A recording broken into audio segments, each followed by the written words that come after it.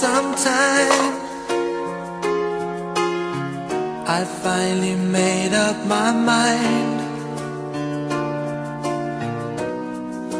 She is the girl, and I really want to make her mine. I'm searching.